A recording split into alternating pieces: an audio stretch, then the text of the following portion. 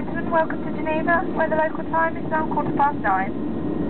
Please remain seated with your seatbelt fastened until the signs have been switched off. And please make sure you take all personal belongings with you, checking in the seat pocket, underneath the seat and in the overhead lockers. Do take care when opening the lockers in case anything falls out. Smoking is not permitted until you reach a designated smoking area. For your convenience, mobile phones may now be used, but due to strict airport regulations, they must be switched off before leaving the aircraft. If you need to rent a car during your trip, EasyJet would like to recommend a car rental partner, Europcar.